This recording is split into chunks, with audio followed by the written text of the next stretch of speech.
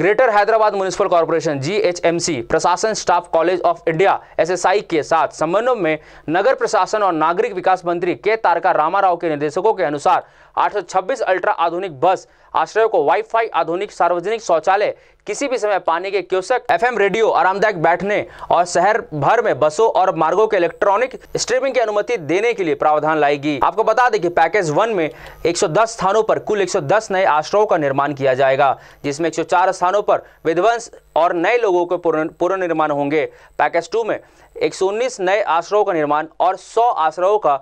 पुनर्निर्माण के साथ बनाया जाएगा।